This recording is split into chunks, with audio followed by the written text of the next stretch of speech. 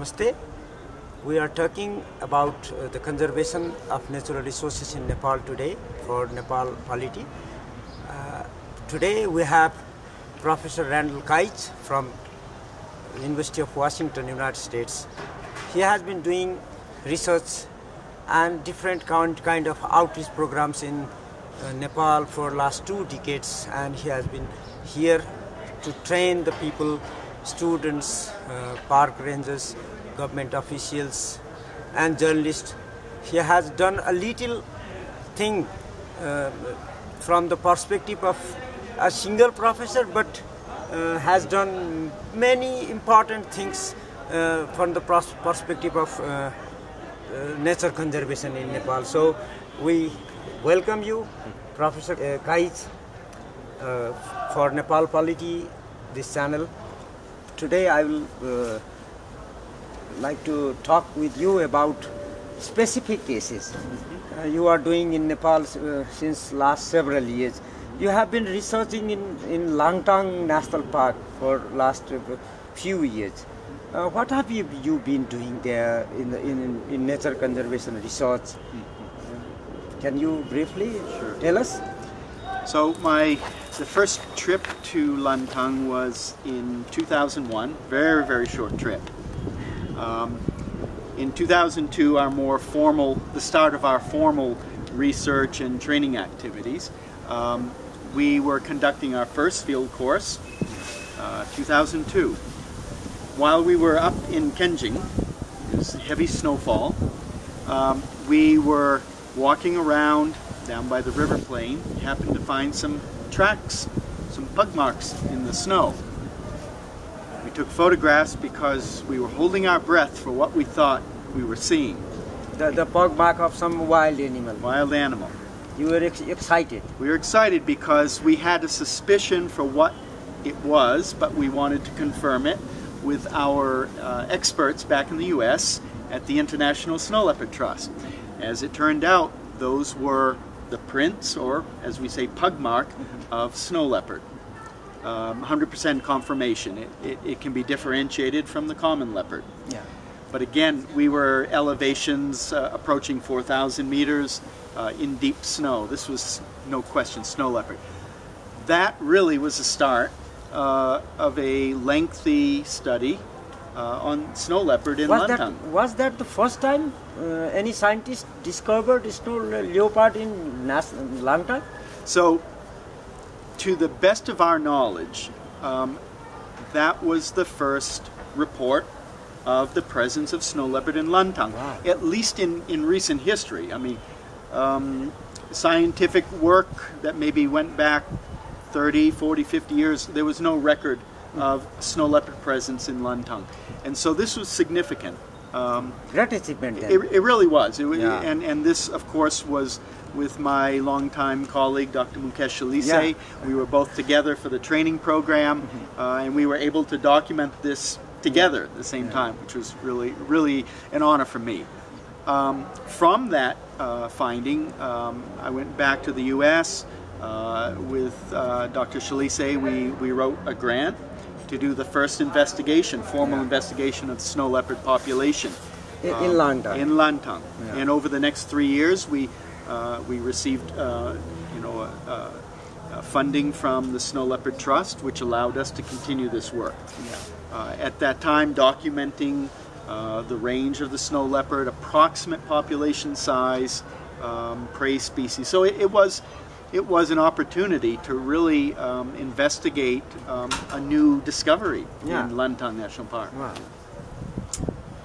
Then uh, after that, uh, you com- concluded to some extent, uh, not a complete study, but to you you reached some uh, some degree of uh, achievement uh, in leopard uh, study research in Langtang National Park. Uh, how useful was that? What what were the achievement uh, you get so far? So um, it, it's sort of mixed um, mixed results at this point.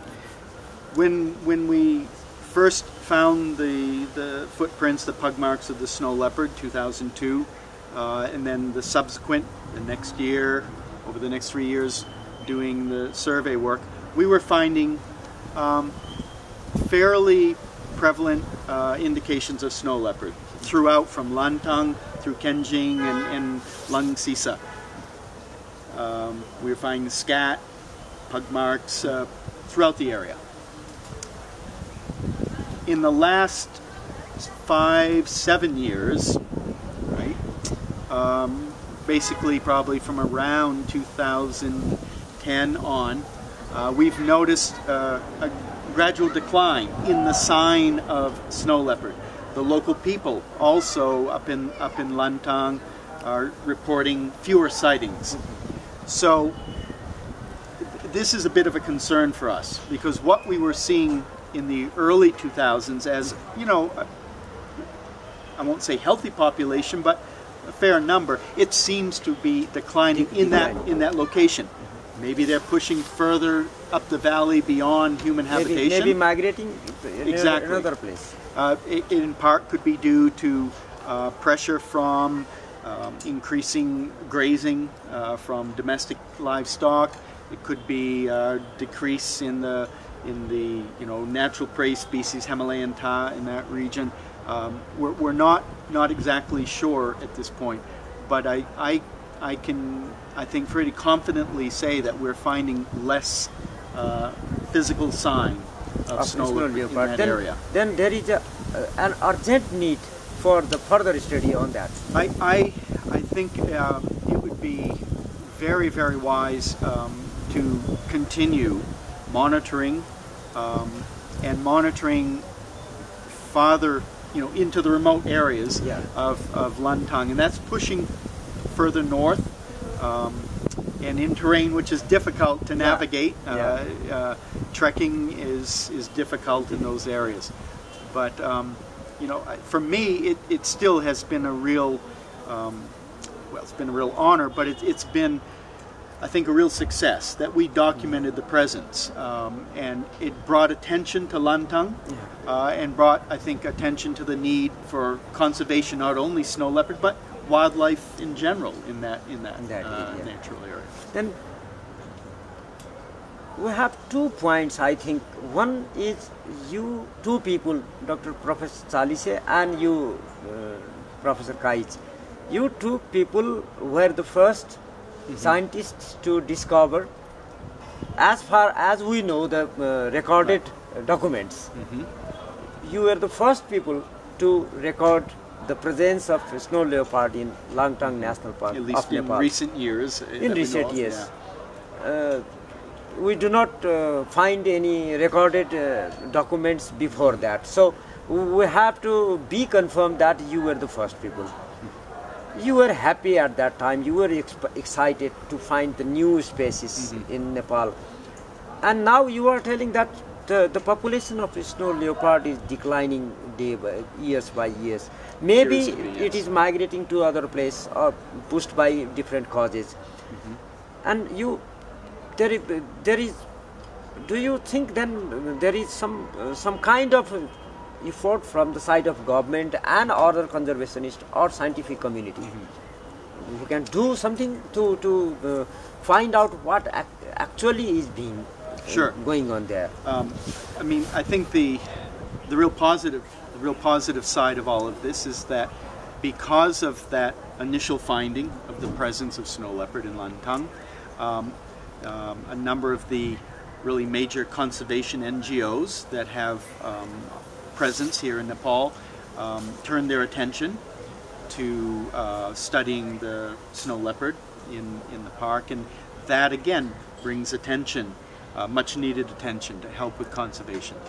Um, the government, the Department of Forestry, the Department of National Parks, Wildlife Conservation, um, have also been very supportive in, in wanting um, and, and, and helping really to promote this kind of research. Uh, very, very supportive in their granting permission and so on. Um, you know, of course, uh, we're all limited by funding and, and time, but um, the interest is there. That's, I think, that's That's a starting point that you really, you really need to have. That there is actually interest and support in wanting to promote this kind of research.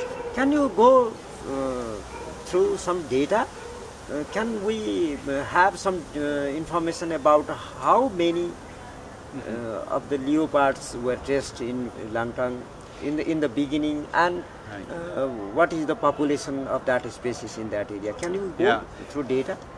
Again, you know, th- these are estimates, and as I always tell my students, an estimate is just that. You Not, know, it's, it's not a census. It's it, it is absolutely not a census. Correct. It, you know, we were doing surveys, so a survey only generates an estimate. Yeah. Uh, in an area that large, with with such remote area that we are unable to sample in, um, you never know exactly, right? We're, we're mostly in um, areas of human habitation to Yeah. some of. But that being said, um, in the early years, uh, 2003, 4, and 5, we were estimating in our survey area, which would go from Langtang up to Lang, Langsisa, uh, somewhere maybe five, six, seven different different cats, different snow leopards.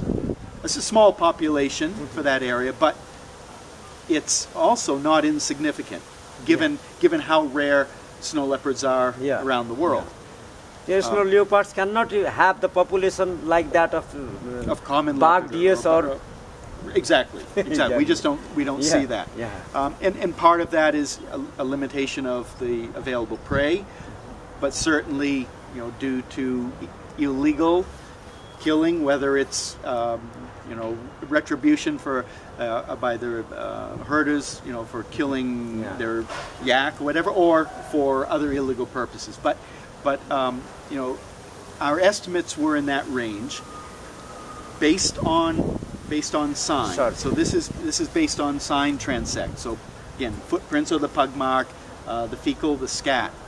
Um, we had in all this time we had only one visual sighting of a, of a snow leopard. Um, even uh, camera trapping at that time, with, with not that many camera traps, we were not able to catch a photograph. But we did have one visual sighting, um, but mostly it was sign. And um, over these more recent years, again, we've been seeing a decrease in the sign. So this is this is concerning. Yeah. So uh, we- we have to have some uh, further studies and monitoring. Exactly. The number one thing for me uh, on any conservation program is regular monitoring. You know, a study that is done like a snapshot in one year and then nothing is done for maybe 10, 20 years, you have no idea what's happening in between. And, and regular monitoring for any species is so critical. But it comes back to the funding, of course. You know. Yeah. Thank you, Professor, again. My pleasure. about- My pleasure. Thank you very Thank much. you.